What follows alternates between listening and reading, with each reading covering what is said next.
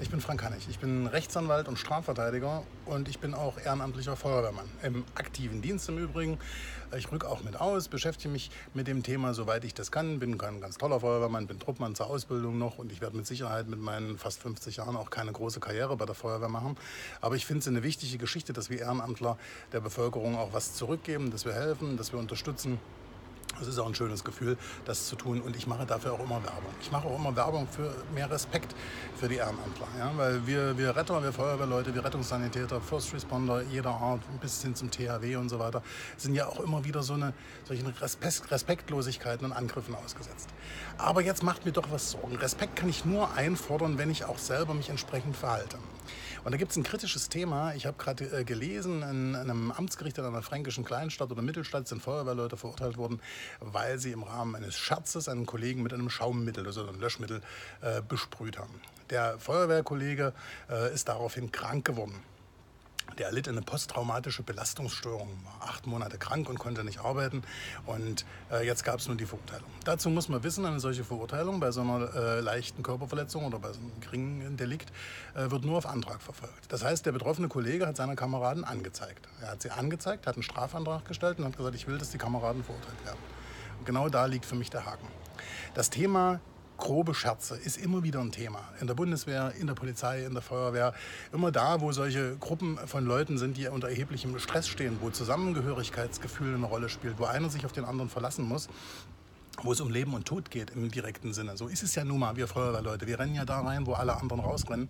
Da muss man sich sehr auf seine Kameraden verlassen können und dieses Verlassen wird manchmal auch auf die Probe gestellt durch recht grobe Scherze.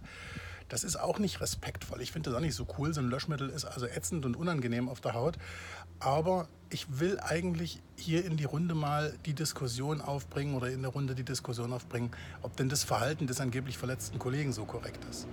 Ist das denn ein Zeichen von Respekt, meine Kameraden, die es mit so einem Schatz zugegeben vielleicht übertrieben haben, dann anzuzeigen? Ist das das Bild, das eine Feuerwehr, eine Gemeinschaft von Rettern, von First Respondern nach außen ausstrahlen will? Wir zeigen uns dann an wegen so einem Kiki-Kram? Bin ich denn, nachdem mich Kameraden mit Schaummittel vollgesprüht haben, für acht Monate krank wegen einer posttraumatischen Belastungsstörung? Was macht denn der Kollege, wenn er mal zum Dachstuhl muss oder in Wohnungsbrand? Geht er dann gleich in die BU-Rente? Ich meine, wir sind Feuerwehrleute. Da gehört auch dazu, dass man irgendwie, ich sag mal, ich sag's mal drastisch, irgendwo auch ein bisschen Arsch in der Hose hat, oder? Dass man die Dinge auch mal durchzieht, dass man sich auch respektvoll benimmt, aber auch Respekt einfordert. Das gehört doch dazu. Wir wundern uns drüber, warum wir als Männer immer weniger ernst genommen werden, warum wir immer mehr als Weicheier verschrien werden, ja, warum Zuwanderer aus dem arabischen Raum hier sozusagen die dicken Babos sind und die Machos und uns zeigen, was sie für große Eier haben. Aber wir selber werden doch immer weicheicher. Wie kann ich denn als Feuerwehrmann nach der Hilfe des Staates schreien, weil Kollegen einen Scherz mit mir gemacht haben?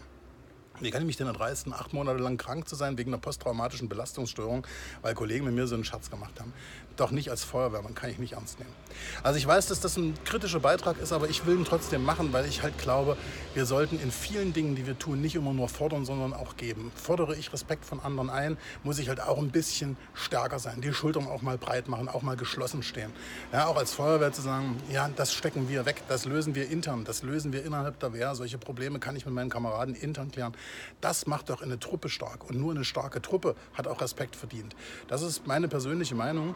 Dieser Schrei nach Papi-Staat, der immer sofort bestrafen soll und der machen soll, der geht oftmals auch nach hinten los, weil wir Respekt damit auch einbüßen.